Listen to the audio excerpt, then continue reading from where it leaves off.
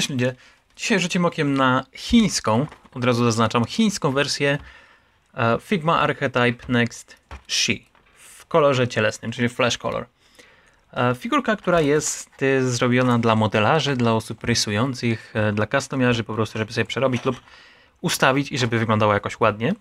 Jak widzicie jest figureczka, mamy podstawkę, mamy również akcesoria, jest instrukcja obsługi. Jest to chińska edycja tej figurki, w sensie, że bootleg, podróbka knockoff. Jest bardzo tania, bo kosztuje 30 zł, także można sobie. 30 zł to kosztuje jak jest droga. Kosztuje jeszcze mniej tak naprawdę. Możemy sobie kupić. Mamy bardzo z tyłu opakowanie pożółkłe i to w każdej wersji, ponieważ ja mam dwie takie figurki i obie takie są. Jest również chłopek. Chłopek również chodzi po tej samej cenie, także spokojnie można kupić. Um, no i co, dajcie sekundę, zaraz ją otworzę.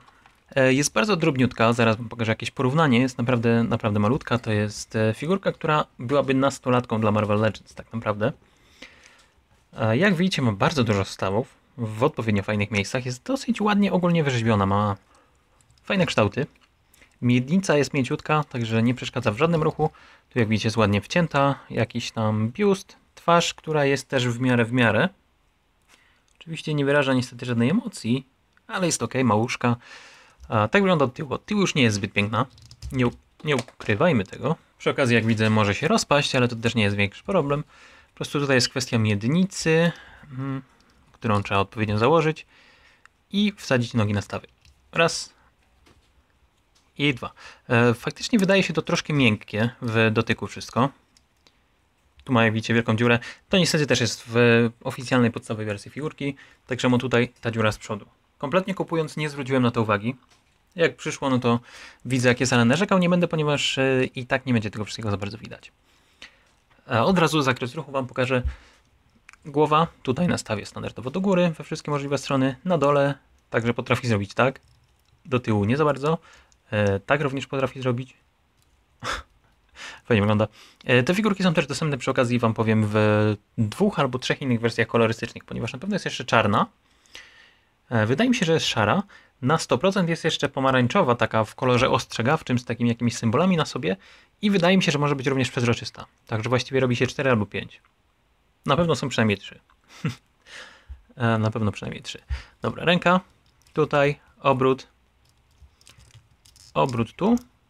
Zgięcie w łokciu. Pojedyncze, co prawda, znaczy pojedyncze, no wiadomo jak to Figma, ale jest głębokie. Obrót, obrót po, poniżej stawu, dłoń we wszystkie strony.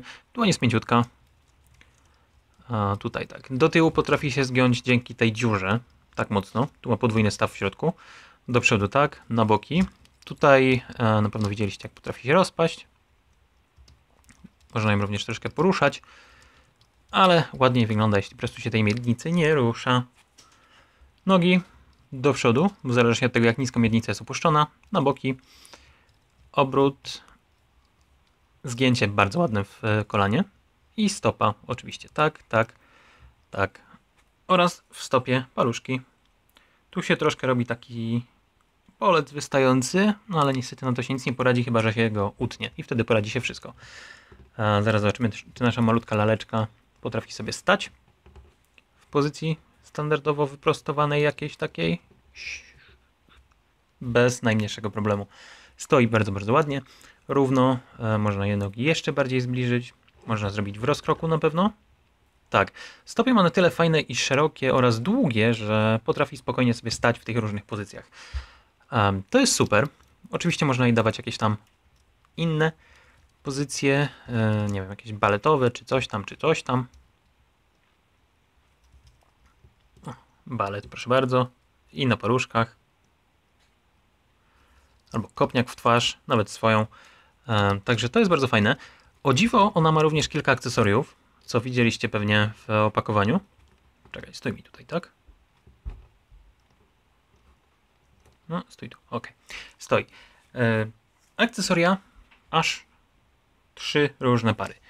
Dłonie, po pierwsze mamy tak, tutaj są dłonie otwarte, tu mamy pięści, tu mamy dłonie do utrzymania akcesoriów, których niestety nie ma w zestawie i uwaga, mamy również wymienne stopy. Dwie stopy, już Wam pokazuję na czym polega różnica. Tu trzeba tylko wyjąć, wsadzić. O. E, tak, od razu Wam powiem, że trzeba ze stopami szczególnie uważać na te tutaj dinksy wystające, ponieważ ja na swojej drugiej pofigurce ułamałem po prostu ten wspomniany dinks i on jest y, w stawie stopy. Także trzeba po prostu zadbać o to, żeby tak nie zrobić. Dobra, stopy.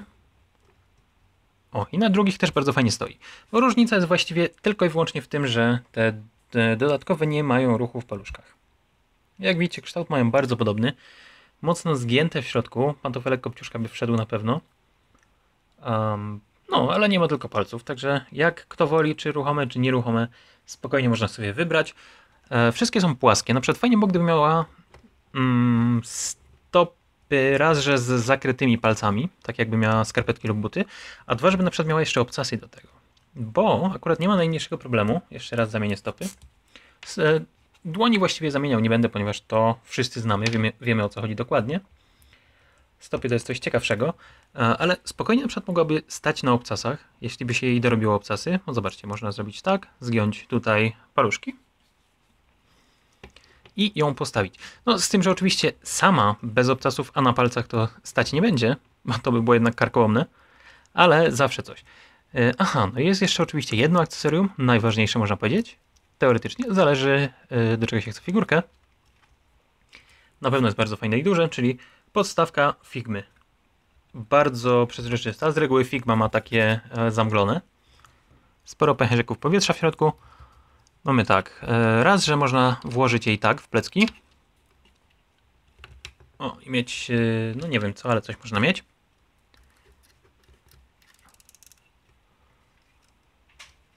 O, o takie coś. takie coś można mieć na pewno. Bach. E, a dwa, że tutaj część, którą włożymy jej w plecy jest zdejmowana. To jest tutaj taki wysięgniczek z troszkę mniejszą dziurą ponieważ ta jest zbyt duża, żeby jej w te plecki włożyć. Ale wiecie, to z drugiej strony można wpasować w co innego, nawet tutaj do dziury włożyć jakby trzeba było. E, w sumie jedyna wada tej figurki tak naprawdę, jaką widzicie, to to, że bardzo łatwo wypadają nogi z miednicy, ale mam wrażenie, że to jest po prostu wada konstrukcyjna, która jest odziedziczona po oryginałach. Jestem wręcz pewien, że oryginały też by były takie po prostu niedorobione w tym aspekcie, że po prostu wypadały i tyle. W sumie jedyne, co bym na dobrą sprawę w niej poprawił, to jednak wolałbym, że miała bardziej schowany ten tutaj staw pod, pod szyją, bo to jednak jest bardzo rażące. To jest też miejsce, w które się jednak często patrzy u kobiety. E, dziura w plecach nie przeszkadza aż tak bardzo, kiedy pleców się nie widzi. No i dzięki niej, przypominam, można zrobić coś takiego. Wtedy też widać dziurę z przodu, no ale coś za coś. E, generalnie jest bardzo ładnie wyrzeźbiona. Mam ładną twarz. Fajnie było, gdyby też miała jakieś włosy w zestawie. No i w sumie tyle. E, na pewno możecie oczekiwać do końca roku albo na początku przyszłego jakiegoś customa na tym ciele. Do zobaczenia. Na razie nie mogłem powiedzieć o co chodzi, ale jak będzie, to będziecie wiedzieli. A tymczasem Borem Lasem dajcie znać jak się podoba i do następnego ludzie. Na razie.